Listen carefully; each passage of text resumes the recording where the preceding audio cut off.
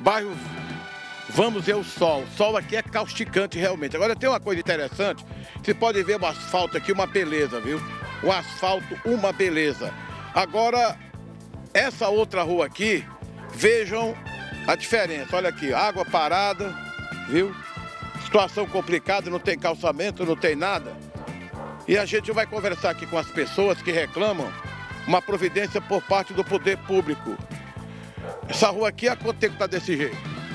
Ela está mais de, de 15 anos. O conjunto tem mais de 15 anos que foi entregue e o começo do conjunto é aqui. E o calçamento está sendo feito lá da quadra 20, 18 e não dá para entender por quê.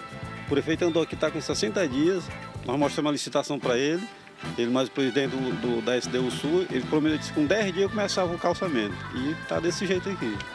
É lama, é poeira. Fizeram aquele outro lá, pararam lá na esquina e disseram que ia continuar até hoje.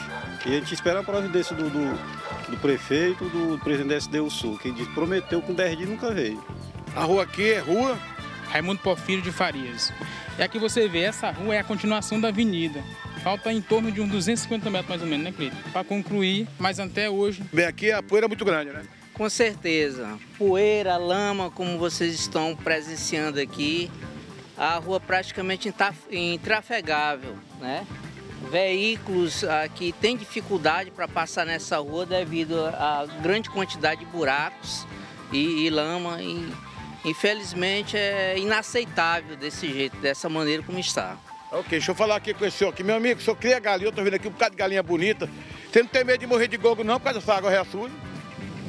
O medo a gente tem, mas não pode fazer nada. Não, é nem as. A gente, se ele diz que tem muito de dengue, eu estou na rua. Se dentro de casa tem, na rua também fica.